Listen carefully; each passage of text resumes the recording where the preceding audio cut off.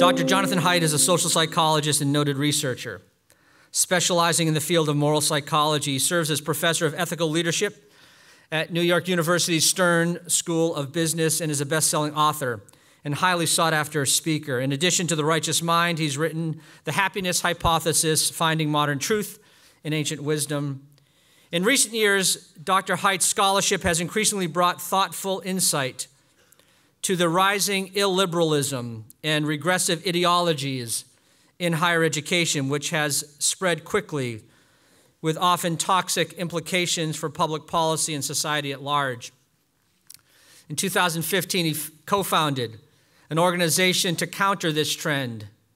Heterodox Academy is a consortium of more than 1,700 academics devoted to improving the quality of research and education in universities by increasing viewpoint diversity, mutual understanding, and constructive disagreement. And we're grateful for you, Jonathan, for your being here and uh, for the healthy pluralism that you advocate for, that there's room for each other.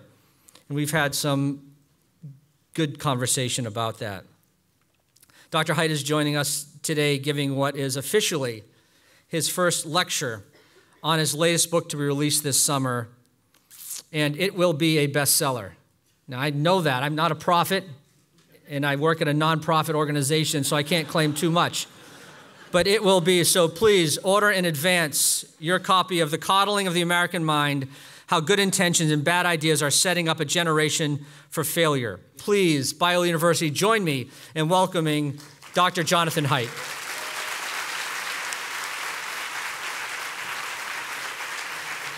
Thanks, Barry.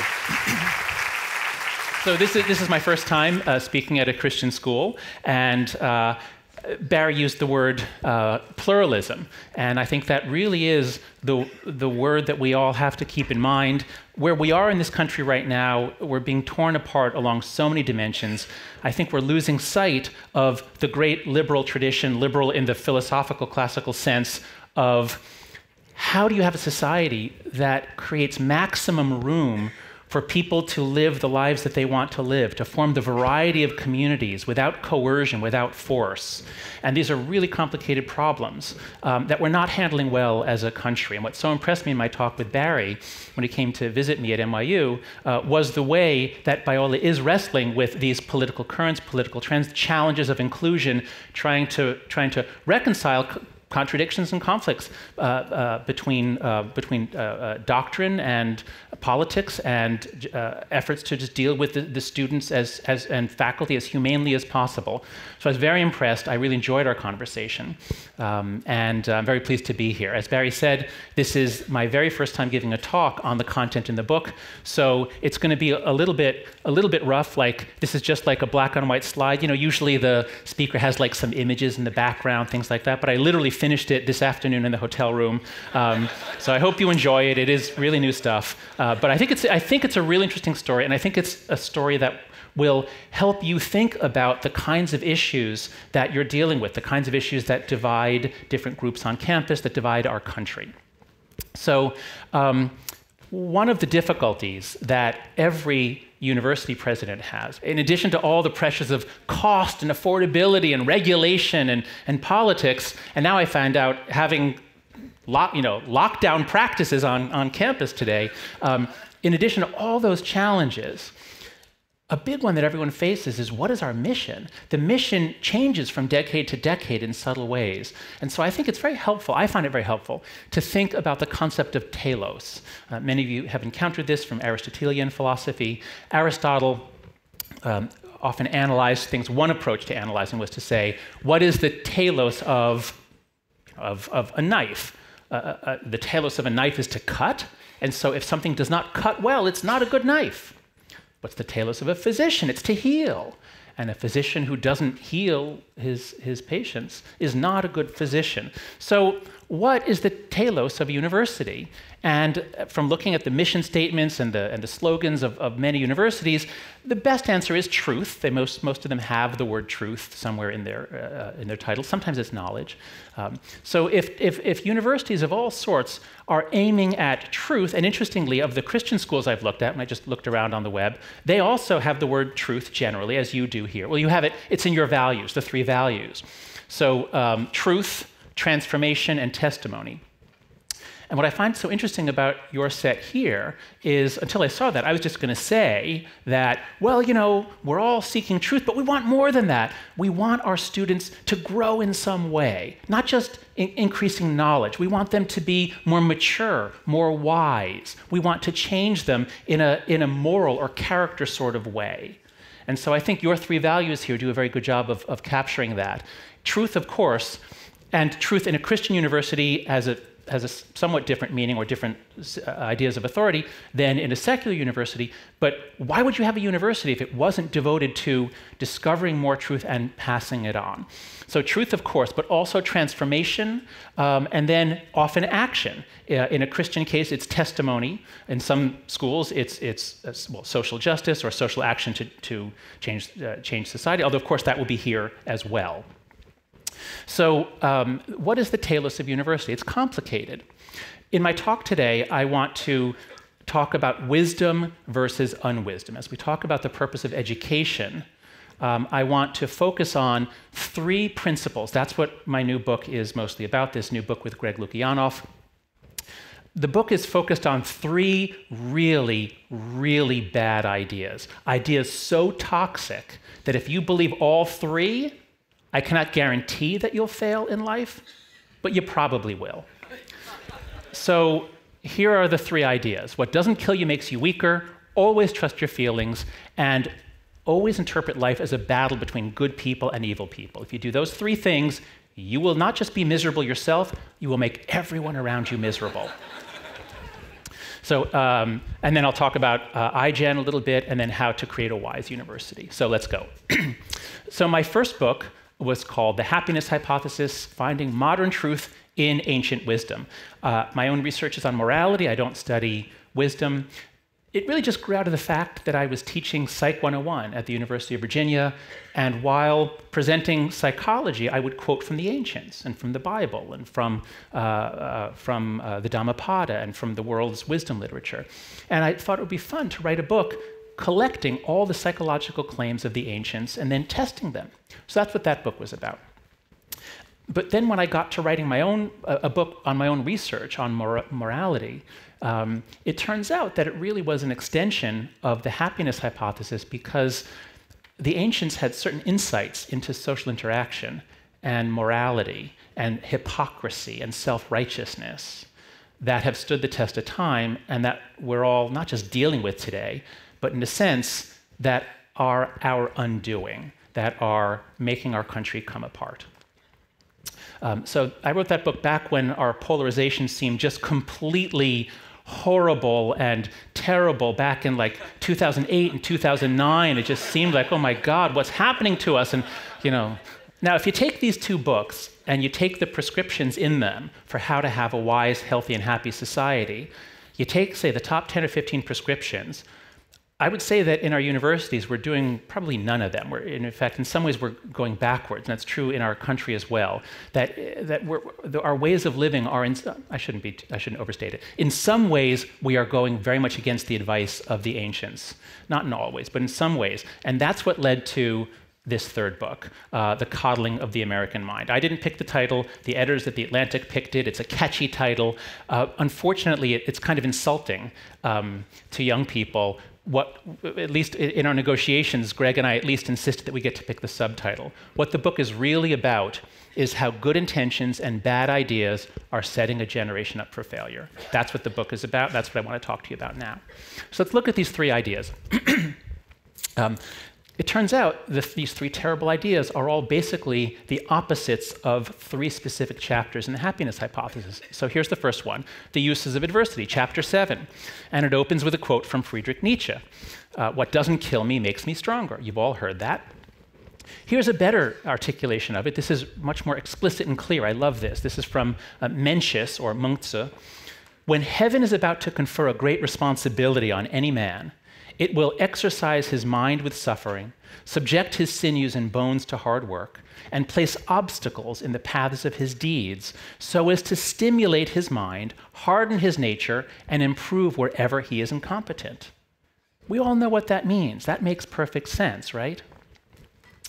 Um, or from, uh, uh, from, from Romans. We rejoice in our sufferings, knowing that suffering produces endurance, and endurance produces character, and character produces hope. So every, every society has recognized that you need, well, that adversity has a number of beneficial effects, and that you need adversity to grow into a mature, capable human being. Um, the the deep psychology here was best articulated in a fairly recent book by Nassim Taleb, the author of, of The Black Swan. He followed it up with this wonderful book called Anti Fragile. And he made up this title because there is no word in the English language for what he wanted. We all know some things are fragile. A wine glass is fragile. You better protect it and don't let kids play with it because if it bangs, nothing good will happen. It will break and then it's gone. So we don't let kids play with glasses, we let them play with plastic cups because they're resilient, right? If they drop it, nothing bad happens to a plastic cup. But it doesn't get better. It's not good for a cup to drop it. And Taleb was studying systems that need to be dropped, systems that need to have threats and challenges in order to develop. And he was looking at banking and regulation systems and the immune system and all kinds of systems that will basically fall into decay if they are not challenged. Um, as he puts it, there are systems that increase in capability, resilience, or robustness as a result of mistakes, faults, attacks, or failures. They need those. He says the resilient resists shocks and stays the same, the anti fragile gets better. Here are three examples. Bones are anti fragile. If you take it easy on your bones, they thin out. And if you put a lot of weight and you bang them around and they get shocks and stresses, they get stronger. Um, the immune system, which I'll go into a moment, and children. All of these things are anti fragile. Okay? Now, here's the case for this is, the, this is so cool. This is so well worked out. Um, so, peanut allergies are, are on the rise.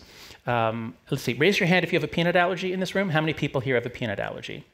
Okay, not many, but if we did this in, um, in an elementary school, there'd be a lot because the number is rising very, very fast. It started in the late 90s, and then it's been increasing very steadily since then. So among young people, younger people, elementary school students, there's a huge number of peanut allergies. Why? Why is it rising?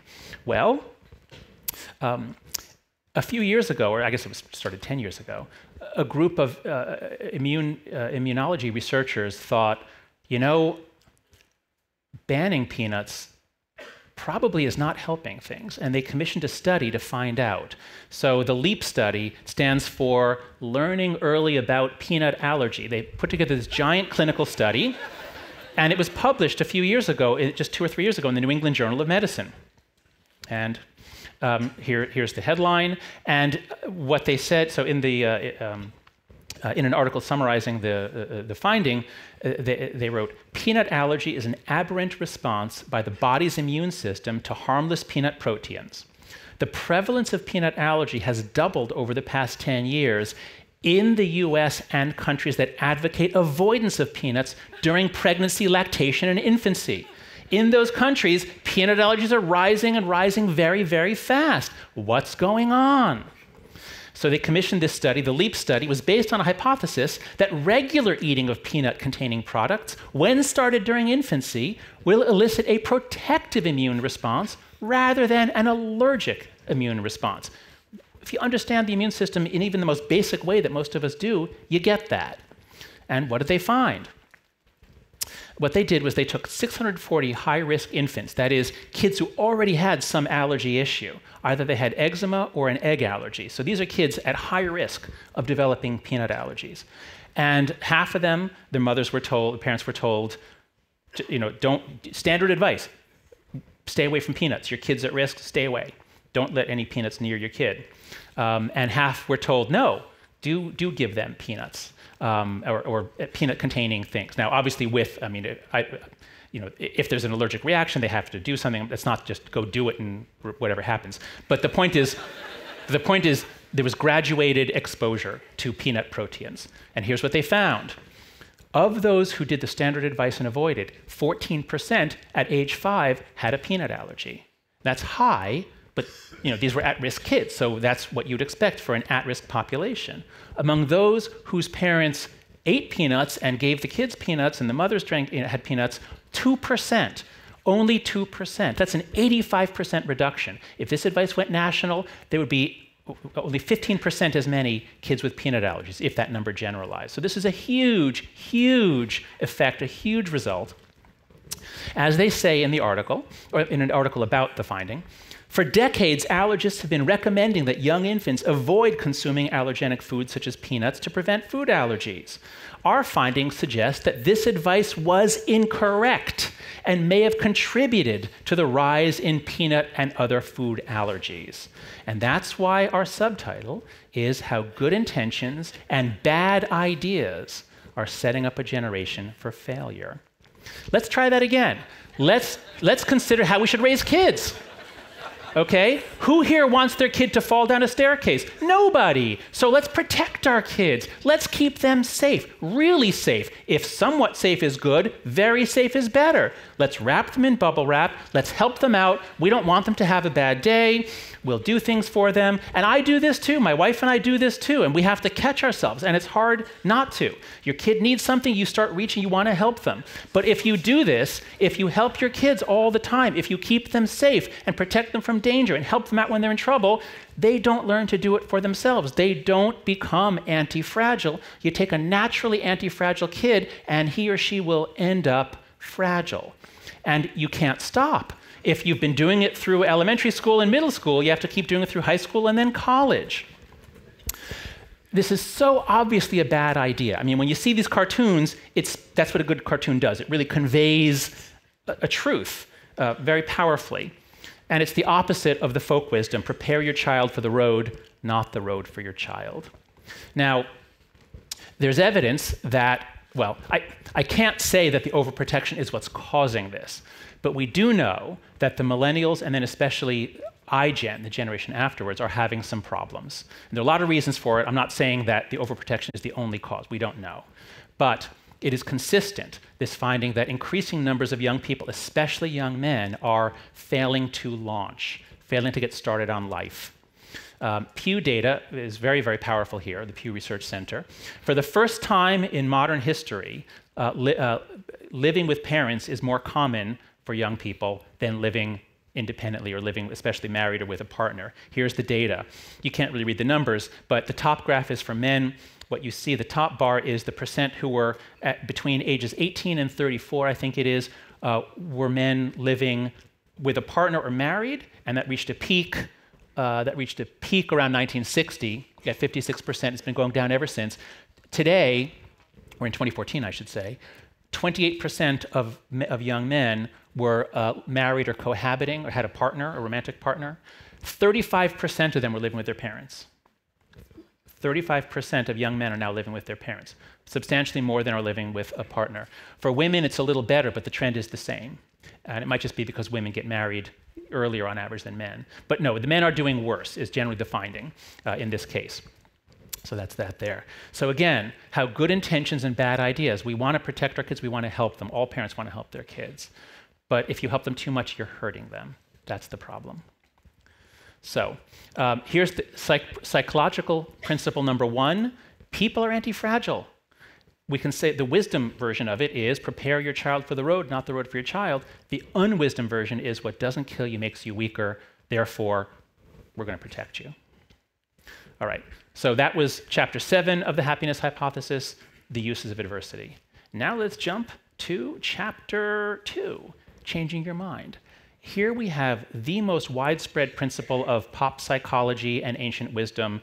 Every society has this truth uh, that we are all prone to emotional reasoning and the confirmation bias. That's the psychological way of saying it. Here's the, here's the more uh, um, elevating way from Epictetus, uh, a Greek slave in Roman days who, uh, who uh, went on to become a Stoic philosopher. What really frightens and dismays us is not external events themselves, but the way in which we think about them. It is not things that disturb us, but our interpretation of their significance. it's as we filter it through our minds, through our appraisals. Um, this is uh, the, you know, the great works of English literature. Uh, in Hamlet, when Hamlet says Denmark is a prison, and Rosencrantz says, no, it isn't, uh, and then um, Hamlet says, uh, well, then to you it isn't, uh, but there's nothing either good or bad, but thinking makes it so. To me, it is a prison. Same idea in, uh, in Paradise Lost. The mind is its own place, and in itself can make a heaven of hell a hell of heaven. Um, now, this is not just a Western idea. Every culture has this. The Buddhist and Hindu traditions are probably the, the most evolved in having techniques, meditation techniques, prayer techniques to gain control of, of your automatic thoughts. So, as Buddha says in Dhammapada, your worst enemy cannot harm you as much as your own thoughts unguarded. But once mastered, no one can help you as much, not even your father or your mother. He follows it up with this example of how, yes, bad things happen. Bad things happen to you, but it's up to you what you'll do with them afterwards. He says, Look how he abused me and beat me, how he, how he threw me down and robbed me. If you live with such thoughts, if you hold on to them, it's up to you. If you hold on to them, you will live in hate. Look how he abused me and beat me, how he threw me down and robbed me. If you abandon such thoughts, then you can live in love. You have control. This is the advice from the ancients, East and West. Uh, the Buddhist tradition, the Eightfold Noble Path, half of the pathways, half of the path is techniques for things you do inside your own mind, much of which you do while meditating, but these are ways of getting your, your thinking right, getting yourself more loosely or disconnected from the stream of things coming in and appraising them properly, philosophically properly. Um, now, Buddha, uh, meditation works. The research on meditation is very, very powerful. But when I've assigned this in my classes, most students don't stick with it. It's hard. It's easy to fall off the wagon. It takes a lot of, a lot of discipline, repetition, and time. Um, so, as the Buddhists put it, you have to basically tame an elephant. Um, there's a very different way of doing the same thing or reaching many of the same goals, which is much easier. Cognitive behavioral therapy is the most widely used form of therapy. Um, it was developed by Aaron Beck at the University of Pennsylvania and some other people at the same time in the 1960s. What Beck observed as working with very depressed people in the 60s was that they had all kinds of really distorted beliefs about themselves. They thought they were terrible. I'm a terrible person. And they thought that um, the world was terrible and depressing and miserable and unfair, um, and they thought that their future in this world was hopeless. And each one of those beliefs, of course, in, sort of supports the others, and, and people were locked into what he called the depressive triad. What he found is that if he could talk with people and get them to see that one of them was wrong, there'd be a kind of an unraveling, and they would actually be freed from. It, it was like the clouds parted for a few minutes at least, maybe, I don't know, maybe an hour or two. It, it didn't last, but there were moments of hope. And so he kept going with this, and he developed a technique for teaching people to challenge those thoughts themselves. And in just a few weeks, you can learn, you, you hear the thoughts. Here, here they are. They're, here are the common distortions. There are about 15 or 20 of them, but here's, here's 12 of the most common. Um, so you, you, if I just say the names, you'll probably know that you do it yourself. Catastrophizing. You believe that what has happened or will happen will be so awful and unbearable that you won't be able to stand it. Mind reading. You guess what other people are thinking with, despite having no evidence. Overgeneralizing. And the most important one of all is emotional reasoning. This is really the basic one. Um, when, if we're feeling in a negative way, we interpret everything as negatively as possible. So uh, we let our feelings guide our interpretation. Now, emotional reasoning is so important and so ubiquitous because it, it, is the, it, it is the distortion that reflects one of the most basic facts about the way thinking works. As human beings, we have this amazing reasoning capacity, but our reasoning isn't really there to find the truth. We're not very good at that. Our reasoning, and I write about this in The Righteous Mind, our reasoning is really, really good for social reasons. We're incredibly good at justifying what we want to do and at justifying ourselves to others. And so, if we want to believe some proposition, we ask, Can I believe it? Do I have permission to believe it? And then we send our reasoning out to find support. It's very hard for us to say what's true, go out and look on both sides. More typically, we start with a proposition we want to support, and then we look for support. Um, whereas if we don't want to believe something, we ask the opposite question. And we're so smart And the world is so ambiguous that the answer to both the answer to the first question is always yes, I can. Uh, and if, the, if you're asking, must I believe it, the answer is always no, you don't have to. Let me give you an example. In one study, subjects come into the lab, they've been taking a psychology course, they're learning about experimental design, and they're given a study that seems to show a relationship between caffeine consumption and breast cancer. And their job is critique the study. Is it a good study? How strong is it? Who do you think finds a lot of problems, a lot of flaws in that study? Just call it out. Who do, coffee drink, right? Coffee drinkers hate it, right? All coffee drinkers hate it, right? All coffee drinkers? Women who drink coffee find a lot of flaws in that study because they approach it by saying, Must I believe it? And the answer is no. They can find a flaw and they can dismiss it. But other people say, Oh, I guess, I guess coffee causes breast cancer. I didn't know that. Um, so here's another study uh, by, by uh, Balcetis and Dunning. You come into the lab and you sit in front of a, a computer monitor and you're going to be you push a button. Every time a letter flashes up on the screen you push a button you'll get five cents or something like that let's say. And so uh, you're there and then something flashes up on the screen um, something flashes up on the screen. What was that? Uh, okay uh, i got a wise guy over here. So um, if you're paid to spot letters and th- these things are flashing by very very fast you know a tenth of a second each if you're paid to spot letters, that's a B, that's a B, that's a B. Uh, but if you're paid to, half the people are paid to spot numbers, they saw it as a 13. So nobody sees it as the letter L or as a pine tree. It's either a B or a 13, but there's ambiguity. And so you see what you want to see. Now, if people can see what they want to see in this case, you know, the real world is quite ambiguous. People can see what they want to see in just about everything. Uh, so, here we are.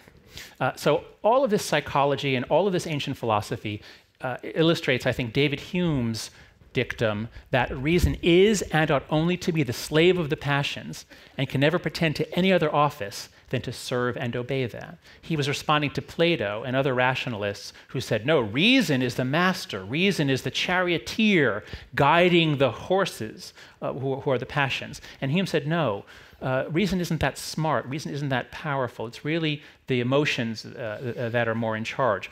But I think a better metaphor, rather than rather than a, a, a, slave or a butler or anything like that, the best metaphor is really a press secretary whose job is to go before the camera and just justify, justify, justify. No real bearing, no real foot on the ground in terms of what's true, just, ju- you know, what can be what can be justified. Although just last week I got a better metaphor. This is really quite amazing.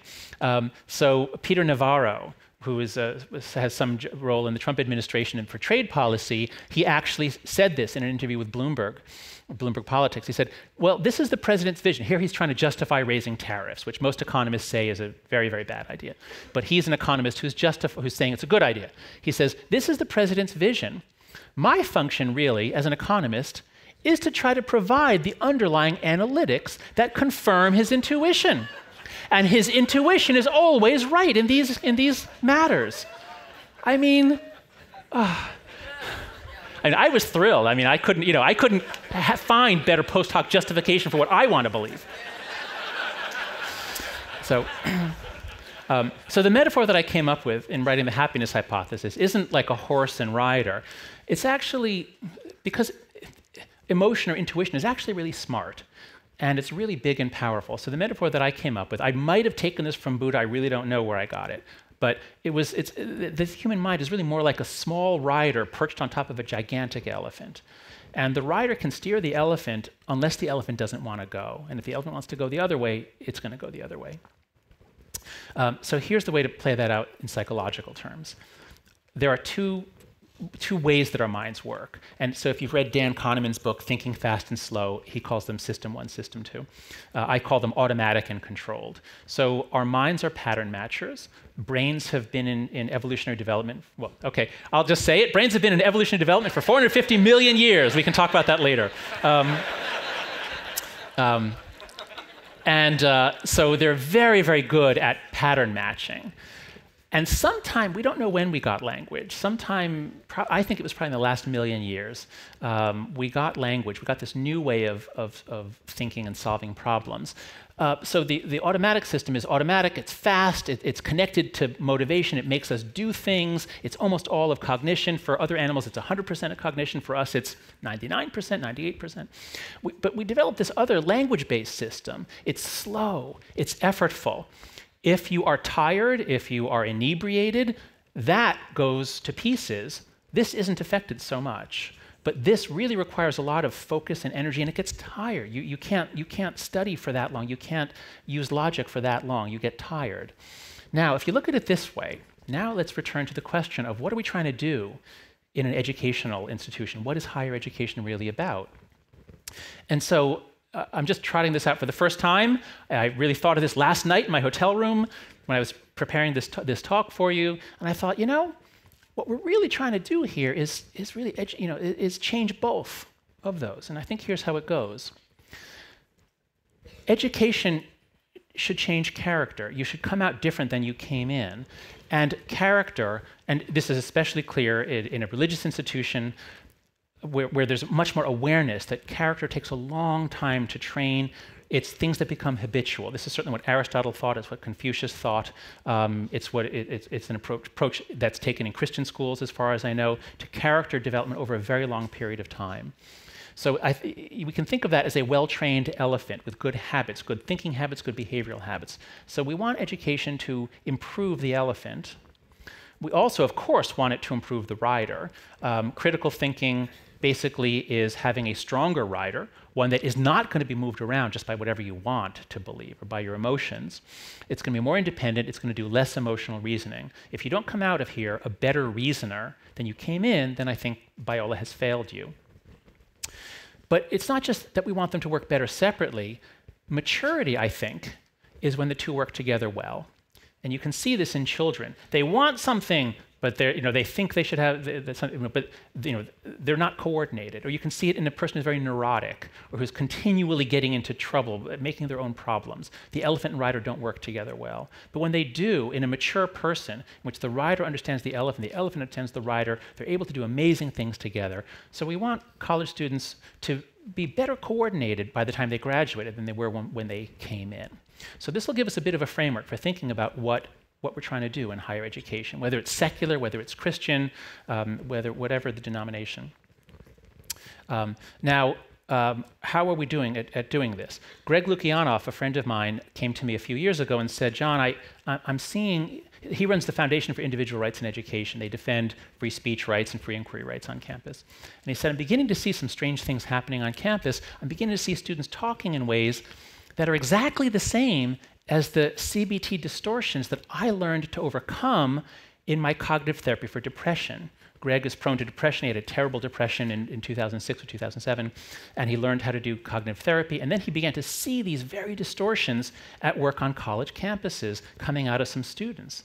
Um, about speech, about matters related to speech. And so he, he had this great idea, and we wrote this article um, in which we argued that actually some of the things we do on college campuses are teaching students to do these distortions. So, microaggression training, I'm not denying that there are that there are not small indignities and small offenses. I'm not saying that they don't exist, but to call them aggressions and to and to encourage people to see microaggression when there was no bad intent. That's a key thing. Microaggressions are often well intentioned. There, they don't have to be uh, any sort of, of bad intent. To teach people to take more offense, to see more threats and danger and aggression when there wasn't any intended, is a really, really bad idea, and it's teaching them to magnify. It then encourages them to do emotional reasoning that if you feel offended, that means you have been aggressed against, and somebody needs to take action. Uh, we do fortune telling trying to predict that students will need trigger warnings when it doesn't really look like there's much evidence that either that they need them or that they do any good. So the point of this article was that in some ways some practices on campus may be making students less wise and less healthy, less mentally healthy. So we published that article in August of 2015, it came out. Uh, this is before the wave of, of, of protests and, and, the attention to safe spaces and microaggressions that became very national. And so we said at the time, what are we doing to our students if we encourage them to develop extra thin skin in the years just before they leave the cocoon of adult protection. Wouldn't they be better prepared to flourish if we taught them to question their own emotional reactions and to give people the benefit of the doubt? This is what we should be teaching people before we send them out into the world. Um, if we're, these practices we're doing are, we believe, well intentioned, but setting students up for failure and conflict. Um, so, psych principle number two, we're all prone to emotional reasoning and the confirmation bias. Wisdom is what Buddha said over there. Unwisdom would be always trust your feelings. Um, third principle, um, the faults of others uh, we are all prone to dichotomous thinking and tribalism. So, the quote we use in the book is from Alexander Solzhenitsyn, a Soviet dissident. Um, he was arrested. He, he said some bad things about Stalin in a private letter to a friend. Of course, the letter was read, and he was thrown into a prison camp for, for many, many years afterwards. While he's marching to the camp, he's describing this in his book, while marching to the camp, he's looking at, this, at the Secret Service officers, and, and he reflects on how is this book really going to be about you know those evil the evil torturers these evil the evil apparatchiks um, and the and the good prisoners who are the victims? And he, he realizes well actually you know i i once considered joining the, the secret service and if i had gotten in i would be exactly doing what he's doing. And then he says so if so he says it's not so simple. You can't just divide people into the, the good and the bad. Um, if only there were evil people somewhere insidiously committing evil deeds, and it were necessary only to separate them from the rest of us and destroy them. But the line dividing good and evil cuts through the heart of every human being. And again, wise people in every tradition have realized this. Uh, nobody has put it better, I think, than Jesus when he said, Why do you see the speck in your neighbor's eye, but do not notice the log in your own? Um, we all do this. We are all flawed, but man, are we good at pointing out the flaws in others. Um, interacting with this hypocrisy is our tribalism. We do this especially when it's us versus them. Uh, and so there's an old Bedouin saying, it's reported in many places, but in, uh, there's a nice version of it in this novel by uh, Nafisa Haji. Um, so the Bedouin uh, saying, I against my brothers, I and my brothers against my cousins, I and my brothers and my cousins against the world. It's a very deep social psychological truth that we're really, really good at joining with the people who are on our team to fight the other team. But the instant it becomes a different team, we can reconfigure the teams and now we'll fight them. We're really, really good at this. Uh, many cartoons capture this here too that I love. Um, so the, the little soldiers behind, I hear it's because we're right and they are wrong. and here, this is the best psychology cartoon in all of human history. I'm about to show you. This is totally geeky of me because you're not going to find it as funny as I do. But it's there can be no peace until they renounce their rabbit god and accept our duck god. so, okay, I'm glad a few of you like it as much as I do. Okay. Um, so, um, so let me tell you about one of the most famous experiments on tribalism. It was done with 12 year olds, but it applies to, to, to everybody. Um, so in the, um, the 1930s, um, Muzafer Sherif um, actually, whoop, actually, I forget the, I, sorry, I forget the year, but anyway, uh, uh, many decades ago, Muzafer Sherif uh, got permission from 22 uh, sets of parents of working class kids to go to a free summer camp. And, uh, you know, he told them that it was going to be for a study. Um, so 22 kids, 11 and 11, were taken in two separate buses on different days to a, to a park, a, a, camp in Oklahoma. And the boys didn't know each bus, they didn't know that the other bus uh, existed. They were taken to different parts. And the boys, for the first week, the boys do camp stuff. Um, they're isolated from each other. But even without any competition, they do tribal stuff. They come up with a name for their group. One calls themselves the Rattlers, one calls themselves the Eagles. They, they have leaders emerge. They, uh, they start having sort of you know, practices and rituals that they do. And this is with no competition. Uh, but then Sherif arranged it so that uh, the, like the baseball field that the kids were using, he kept them up, not, you know, kept them separate before. He let one group see that the other kids were on their baseball diamond, And boy, did they get mad about that because it was their baseball diamond. And now, now we're off to the races. So in the second week, there's competition, and the kids they get angry. They want to challenge the other team to all kinds of you know, sporting competitions, and, and, and so Sherif suggests a tournament. So they have a sports tournament, which and he really tries to ramp up the competition and the frustration. And they get really mad at each other, and they they start uh, insulting each other. They start doing raids on each other's bunks. They start making weapons where he had to step in and say, "Whoa, no, no, no weapons." Um, um, and but the point is that he was able just a little competition, and they ramp it up into basically tribal warfare. Uh, and then in week three, he turns it around. Uh, just to say a nice quote here, um, what he notices is during the week of competition, performance in all activities, which might now be competitive, such as tent pitching or baseball, was entered into with more zest and also more efficiency. So the kids loved it, it was fun, and they really worked hard to beat the other team. Week three, he deactivates. He does all sorts of things like he engineers little crises that they have to cooperate to solve. So the water truck, the truck that brings water up to the camp, um, you know, water tower, breaks down. It's at the bottom of the of the hill. Oh, you know, we, we can't get water. What should we do? And the kids figure out, oh, well, you know, if we all work together, we could push it up the hill and, and then connect it. So they do, and it works. And so a few things like that, you give them a common goal, a common challenge. And, bef- and, and now, after a few of those, now they're having a great time together. And the tribal divisions go away. And when it's time to go, they could all have gone, they, they had their two separate little mini buses, but they chose to all cram into one bus so that they could be together for a few more hours. Isn't that lovely? Um, so the lessons of this are profound and they're obvious. Um, you have a diverse institution. Every institution uh, has, has, uh, is, is trying, well, most institutions are trying to diversify. What's the right way to do it? If you're going to have more diversity, which has many benefits, should you A, emphasize common identity, common humanity, and school spirit? Is that the best way to begin your year in particular? Or should you begin by emphasizing different identities, conflicts, and threats? And so the Sherif and basic social psychology says the more diversity you have, the more important it is to try to find and emphasize and create common interests, a common identity, common bonds. Then you can talk about the more difficult stuff. But if you try to talk about the more divisive, difficult stuff, we'll divide at the drop of a hat.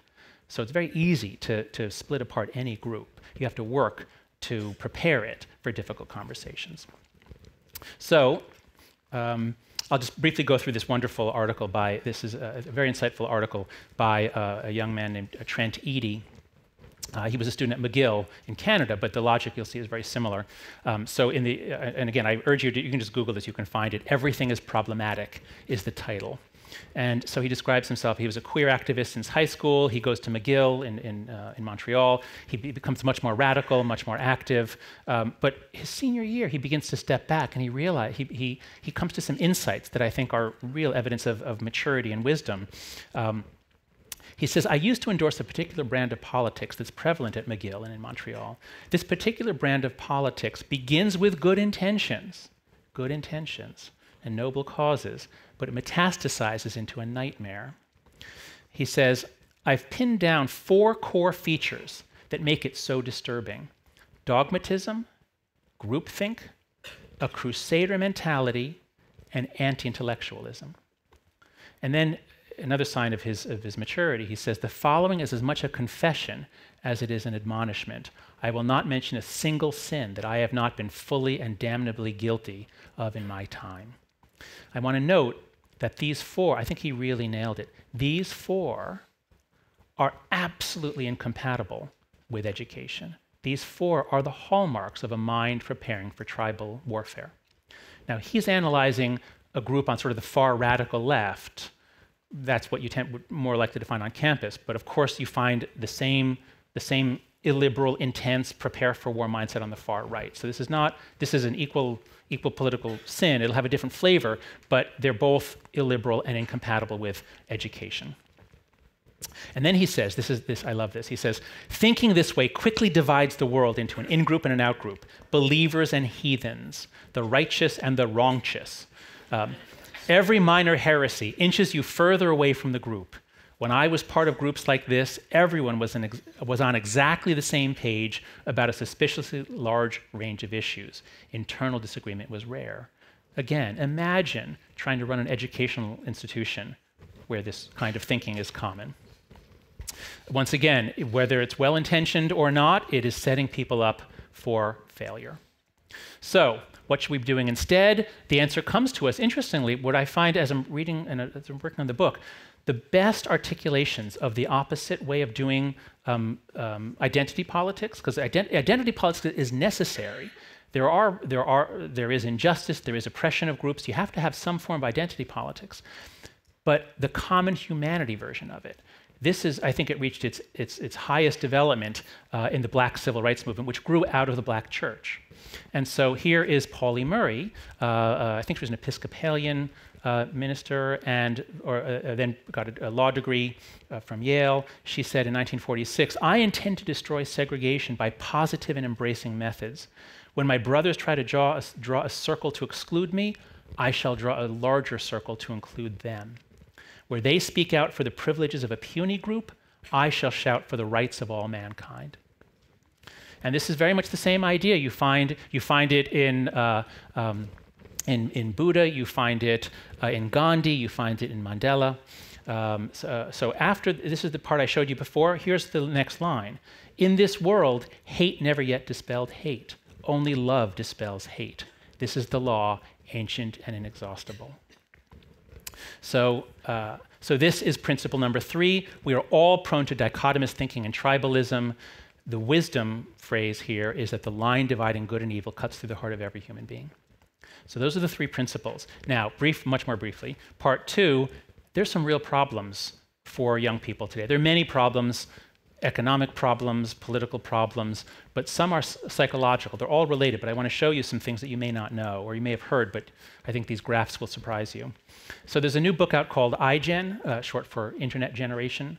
Um, so it, uh, undergrads here, What's, what generation are you? you? Raise your hand if you consider yourself a millennial. Is that what you call yourself? Raise your hand. Millennials?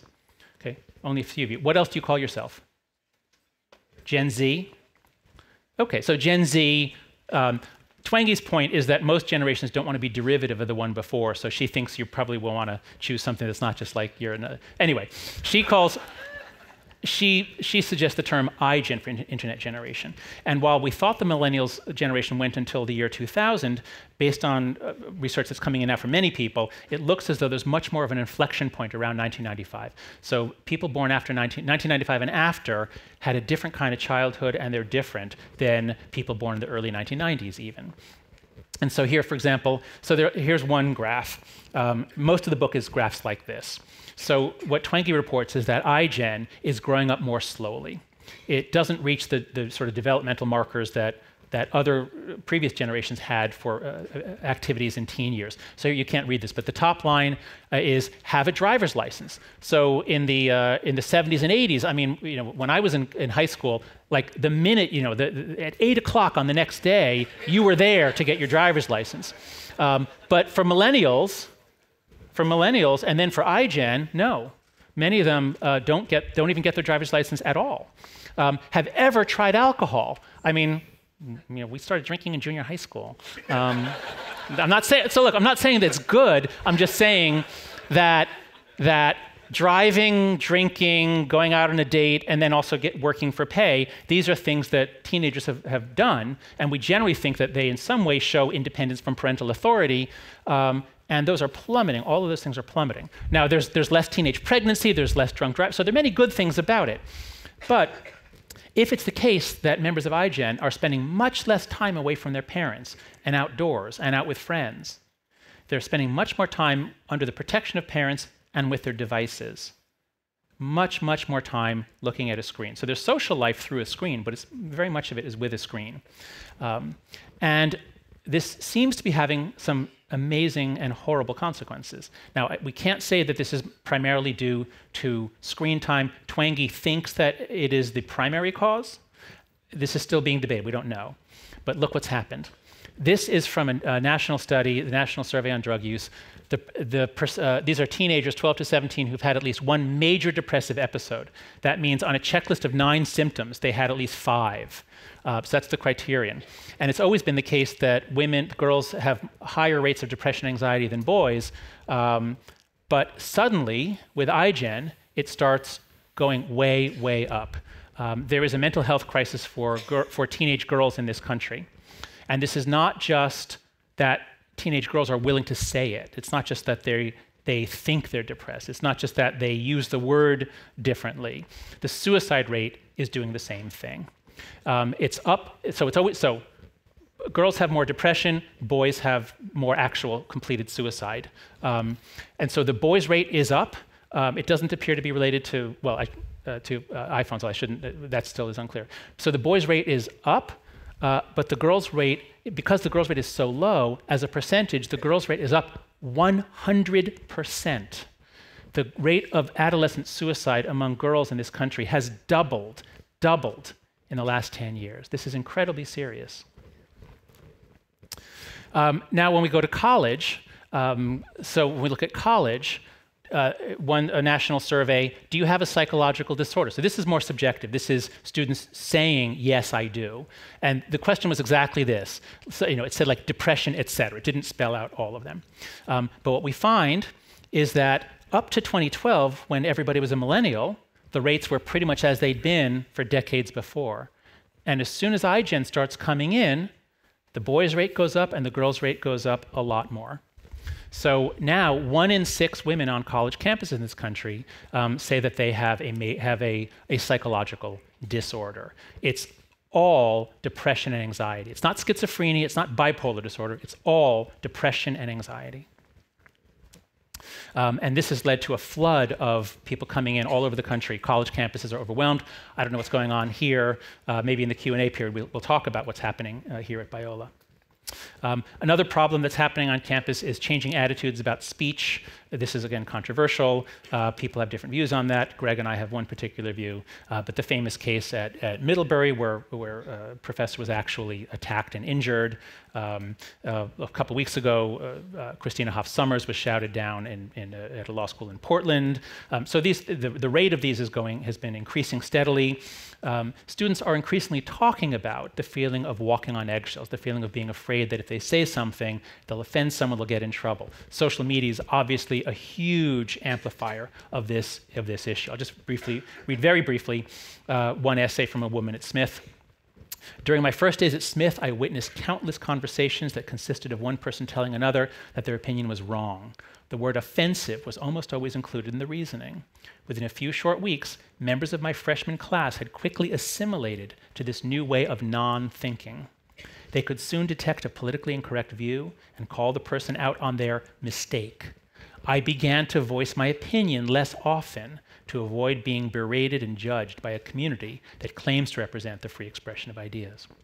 I learned, along with every other student, to walk on eggshells for fear that I may say something offensive. That is the social norm here.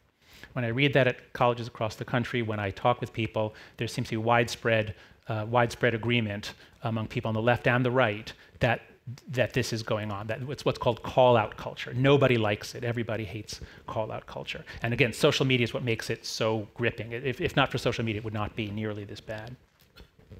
Um, so uh, these are the sorts of things that led us to write our article. Um, and after article came out, a professor at, at, Northern Colorado, I think it was, assigned the article and and and um, uh, tried to foster discussion of controversial ideas. He said, "Here, let's read this article." You know, he says that they, these guys say that you know you can't talk about controversial things anymore. Let's give it a try. And sure enough, he was reported to the bias response team by one of the students, uh, and uh, he was ultimately, I, I think, his contract was not renewed. Um, so, part three, uh, ending the lecture here. Um, given everything I've said, um, what should we do? How can we create a wise college? Or how can we set iGen up for success? So, very briefly, I'll just run through a few suggestions, and I hope in our discussion, I hope we'll, we'll really try to work this out for, for Biola in particular. So, if we start with this framing, that what we want to achieve is, is an improvement in automatic processes, strengthening and improvement in control processes, and greater integration of the two. If that is at least one way to think about what a good college education should do, what can we do? Well, we can use the three principles that I told you about. We can use wisdom rather than unwisdom. Um, so this, well, I won't go through. This is basically what I just showed you. I've just put it all together in one table. The three psychological principles, the three wisdom statements, and then the three unwisdom statements. So education for wisdom or a wise university, those are not the same thing, but a wise university would presumably want to wipe out those three. You would, you would stop doing any of that, and you'd focus on those three. And what I just realized, again, uh, well, actually, it's 3 o'clock this morning because I was on New York time. But what I realized is that there's a kind of a nice match here that um, if, you, if you do this, if you prepare your child for the road, if you recognize your children's anti fragility, you're going to give them, they're going to develop more character. Now, more things go into character than that, but there's a very close relation between the anti fragility principle and character. And if you, um, if you recognize the, tr- the truth of this principle and you, and, you, uh, um, and, you, and you act on this, your, your kids or your students are going to end up with better critical thinking. And um, while there's much more to maturity than this, a real hallmark of maturity, I think, is overcoming the simple minded, I'm right, you're wrong, us, them. That is a hallmark of an immature mind or an undeveloped soul.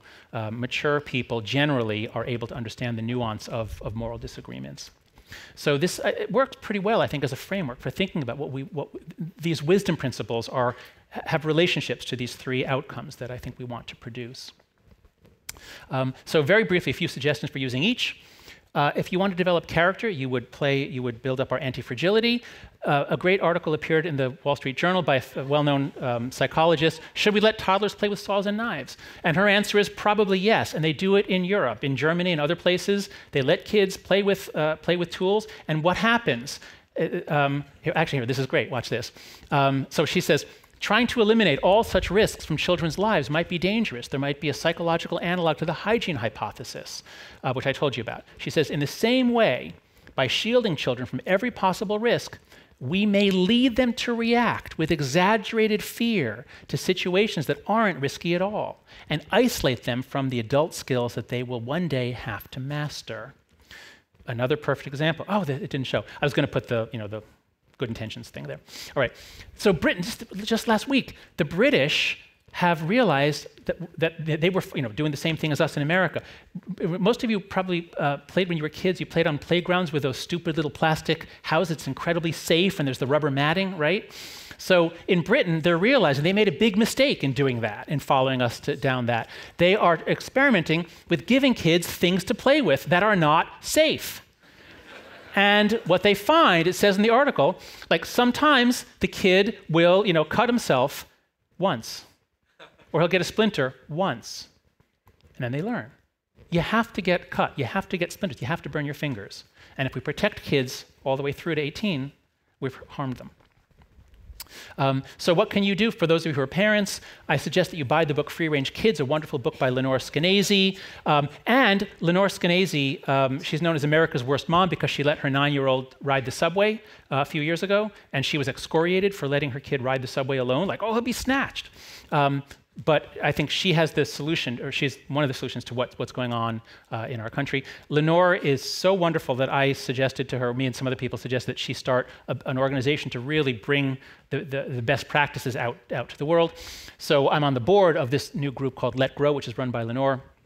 So if you're a parent, please go to letgrow.org. Lots of great ideas for you there. Um, and now moving on to college, Lots of university presidents have made wonderful statements. Here's one of my favorites. University presidents, well, educators, but uh, really understand this. Uh, Ruth Simmons, the first African American president of an Ivy League school at Brown, she said, Learning is the antithesis of comfort. The collision of views and ideologies is in the DNA of the academic enterprise.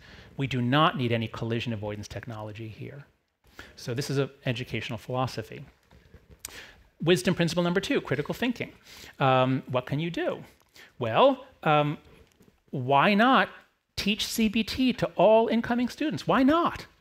If there's an epidemic of depression and anxiety, and CBT is the best validated method for addressing it. There are others, but this is the one that has the best evidence base. And it's so easy to learn. And you can get it on all kinds of apps, and you can do it yourself with a cheap book. Why not teach it? Not just for the mental health issue, but because CBT is basic good thinking. It's critical thinking skills. If you learn to catch yourself and others catastrophizing, overgeneralizing, uh, discounting the positives, these are bad thinking. Why not make it part of freshman orientation? Um, Uh, uh, another thing I want to alert you to, you may know about this already, intellectualvirtues.org. Um, Jason Baehr is doing great work, I think, on uh, how, to, how do you educate for the intellectual virtues, virtues of character, cur- like curiosity, open mindedness, intellectual courage. These are skills we want students to, to develop. He's one of our graduates, Jason Baehr. Is he really? Wow. Good for you. A gift, a gift to the country. Okay. Um, and on his site, I just found this this morning, on their site, they use this wonderful image. Okay, I don't have to say anything else about it. Okay. Okay.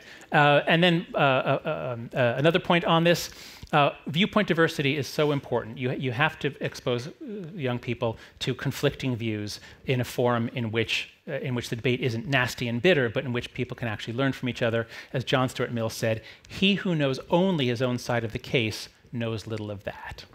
Um, because On Liberty is such an important work, but it's a little bit dense. It was written in 1859. Um, it's a little dense and kind of hard to read for young people. Has a lot of historical stuff that they wouldn't understand. So at Heterodox Academy, uh, we took Mill, we took just the second chapter, which is the most brilliant thing ever written about the value of viewpoint diversity and free speech. We took that, we cut it down by 50%, so you have a 7,000 word essay. You, you, can read it very quickly. And an artist came to us and said, Can I help you with anything? I said, Yes. Can you illustrate Mill? He said, Oh my God, what a great project. So we made these beautiful illustrations. So if you go to heterodoxacademy.org slash Mill, um, it'll be released in a few weeks, but go there now. You can pre order it on Amazon, and we'll have a free version, a PDF version on the site. Um, so this should be required reading at, at schools all over the country. Um, and again, it's, it's free, so I'm not you know, just trying to drum up business here. Um, okay, we do, we do make a, a, little bit on the Kindle version, but uh, we're giving it out free on, online. Um, uh, and then finally, principle number three, uh, we're all prone to dichotomous thinking and tribalism. Um, well, the logic of tribalism kind of gives you the answer. Rather than going with that, and just as, as she says, um, she finishes the quote by saying, "The way uh, this is the way of the, uh, the world when the world is thrown into chaos. It is our job to avert that chaos. How do you do it? You do it by drawing larger circles. That's the most powerful technique. You you use love and acceptance. You don't take the bait. You don't get drawn into the mutual escalation, which is happening all over our country and all over the world. Mutual escalation of outrage, anger, and violence." Um, so if you go to Heterodox Academy, we have some wonderful tools there. He- heterodoxacademy.org um, our most powerful tool for this is called the Open Mind platform. Uh, you can go straight there too. Uh, what we do is, is um, we basically take you on a five step journey to understand why it's good for you to be exposed to different viewpoints, why you benefit from it. Um, we have quotes from the ancients, quotes from the Bible, uh, to bring you into that mindset that we all know of intellectual humility, but we forget about it often.